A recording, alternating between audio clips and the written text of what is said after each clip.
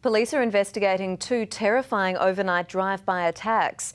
A young family was targeted in Seacliff Park while a father has vowed revenge after his family was shot at at an unrelated shooting at Enfield.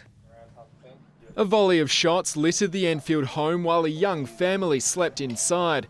22-year-old Rocco Razumiglu says he was the target and thanks to CCTV he knows who's responsible. We had a bit of a dispute a couple of days ago and then uh, all of a sudden this happens. There were six people inside the Pryor Street home when the gunman struck, including Rocco's six-year-old daughter.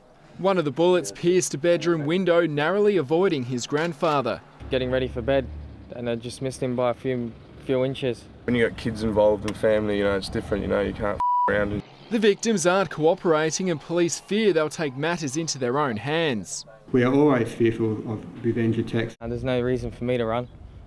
They should be running. Police are also investigating an unrelated shooting at Seacliff Park. Around 4am a shotgun was fired into the garage door of an Ocean Boulevard home. Quick, bang bang, and then the car took off. I heard it, wheels screeching. There's now been seven shootings in Adelaide this year, but police say the public shouldn't be concerned. It is not random and that we have definite lines of inquiries to follow up makes our job a little bit easier. Jack Burketta, 9 News.